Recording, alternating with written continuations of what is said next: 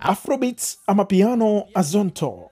Hii ni baadhi ya mitindo ya muziki wa Kiafrika inayovuma sana duniani. Matamasha yaliyojaa wanamuziki nyota wa Afrika ndiyo yanayohudhuriwa na mpenzi yeyote wa muziki.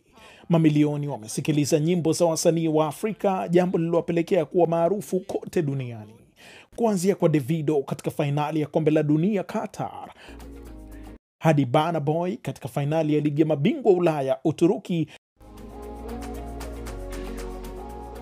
na Tems na Rema katika mechi ya wachezaji nyota wa mpira wa vikapu NBA Marekani.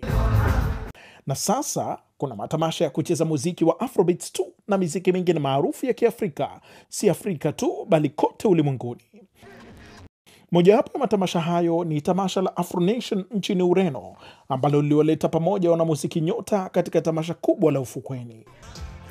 Burna Boy, Black Sherif na Ira Star ni miongoni tu mwa wasanii wanaokiongoza kizazi kipi cha wanamuziki nyota wa Afrika.